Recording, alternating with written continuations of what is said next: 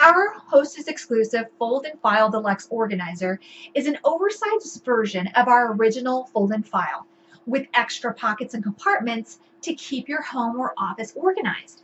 So as you can see, it's got three deep compartments. And then on one side, it does have two mesh pockets.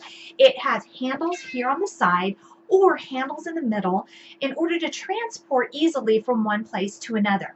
Now, this organizer is sized to fit hanging file folders so that you can keep your tax documents, your vehicle titles, your bank statements, and other important documents all together in where you need them.